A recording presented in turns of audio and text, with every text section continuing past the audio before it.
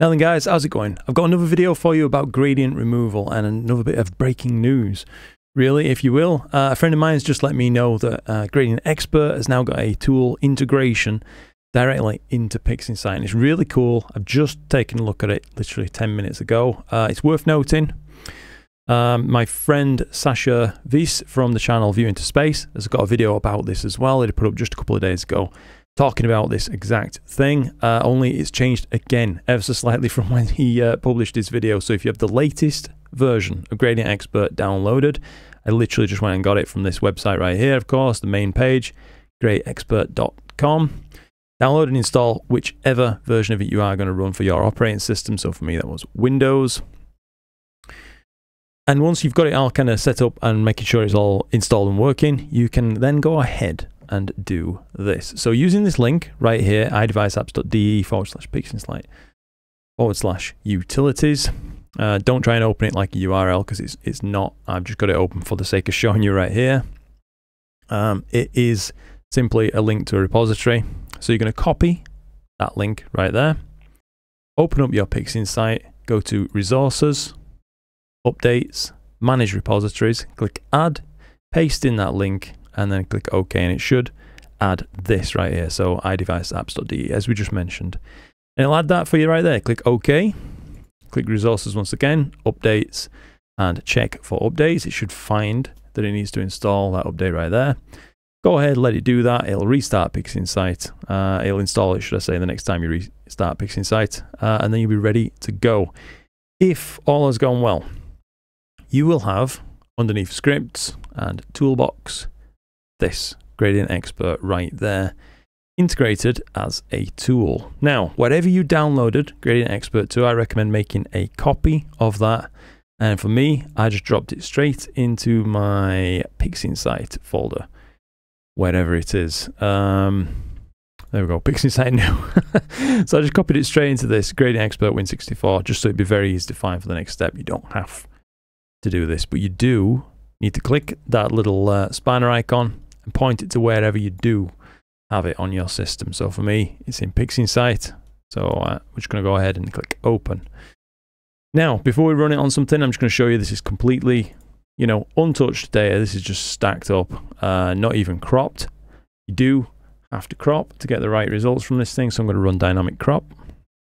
Just really quickly, we'll keep this as raw as possible. Um, it is flipped the wrong way around. I don't think it'll matter, but it'll bug me if I don't straighten it up. So there you go.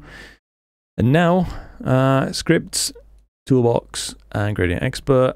And I'm just going to hit the tick and let's see uh, exactly what happens. Now, I've run this once before before making this video and it all worked really well. So I thought, right, let's just get straight on with it. Um, it does pop up a little mention here in the uh, in the tool panel, letting you know that if you have um, TensorFlow updated, you know, for your uh, NVIDIA graphics card. If you have one with CUDA cores, you can use CUDA acceleration to make this thing run faster. I don't have it set up because I'm just terribly lazy like that.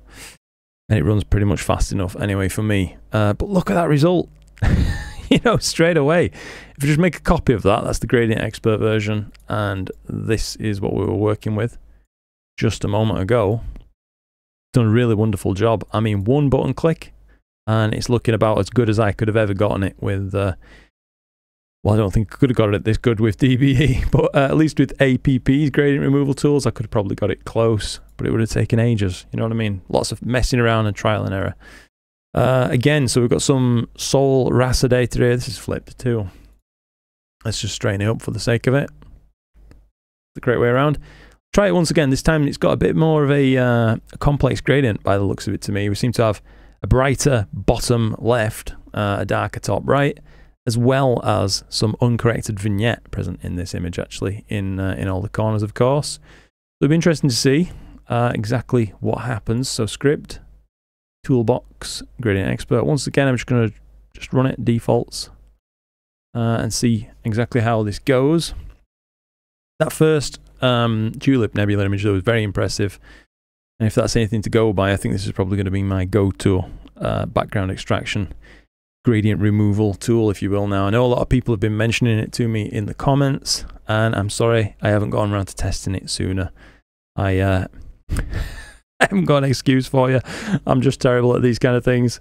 Uh, but I'm I'm here now. I'm doing it. So um, yeah, that's stunning. Actually, wow.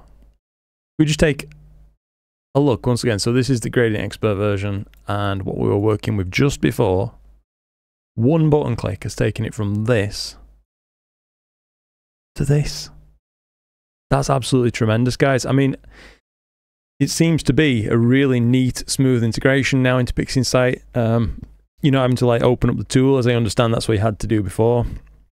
Import, uh, export your image from PixInsight, import it back once you're finished with it. Uh, none of that anymore. It's all just baked in, and I've nothing bad to say about it whatsoever. It seems really good. Uh, that is about it from me. I want to keep this as short as possible. I hope that that's been useful in raising awareness about this thing. Uh, and I'm probably going to leave it there. Now, I will say, when PixInsight's own gradient removal, uh, the Mars project tool, is done, I do want to run kind of a comparison between the Mars tool, uh, GraXpert, DBE itself, uh, as well as AstroPixel Processor's uh, light pollution removal tool as well. I think that could be pretty good and uh, maybe make for an interesting video and arm people looking at making a purchasing decision too, whether you think you want to uh, opt for any other software. But anyway, it's free, it's available right now. Go on, give it a go. It's a load of fun. Thank you ever so much for watching. Thanks so much for your support as always. I appreciate you all. Uh, and I just will let you know as well for anybody who's missed my recent community post, um, aside from short update videos like this, which just, you know, neither here nor there, they're very easy to record and make. Um, I will be probably lowering down my upload schedule just a little bit to uh, facilitate better videos, basically, and a better mental state, because uh, trying to get videos out every single week is a bit crushing um, after a few years of it. So, uh, yeah, that's about it. I'm going to aim to get things out when they're ready and I hope that's okay with you guys. Anyway, until the next one, got no but love for you all, and I will see you around. Close, guys.